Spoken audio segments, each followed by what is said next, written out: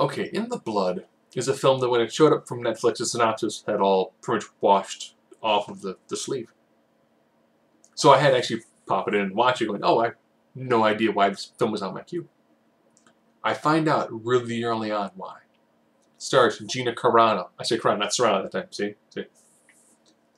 Danny Trejo. Luis Guzman. I'm like, sweet. Danny Trejo in a film with Gina Carano, I bet you they're going to fight. I bet you they're going to... know they dance? Okay. So what's the plot of this film? Gina Carano and husband, well, they they get married, so they go on, of course, a nice, beautiful island retreat. They go out clubbing one night, run afoul a local gangster. Danny Trejo.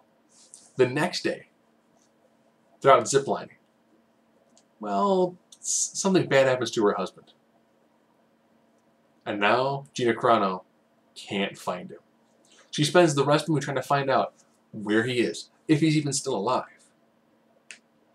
And pretty much, whenever she finds somebody who has information, she beats the daylights out of them. And then finds the next person. And then beats the daylights out of them to get the information to try to find out what is going on and what's happened. I was really hoping Danny Trejo and Gina Carano would have had more screen time together, but they don't.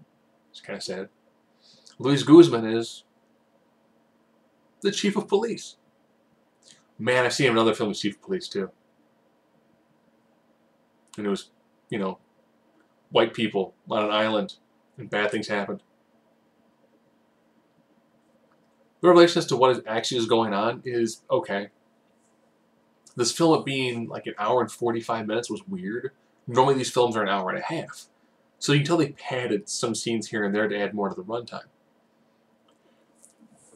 Actually, the nice thing is seeing Gina Carano, very early on they have the fight in the dance club. It's done pretty well. And she has a lot of good fist fights. So again, it's, it's, it's a woman fighting men and men fighting her back because the men are evil. So from that aspect, not bad.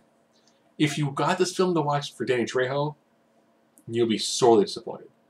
This is pretty much a, a Gina Carano. Here's how here's her acting, pretty much punching and kicking people.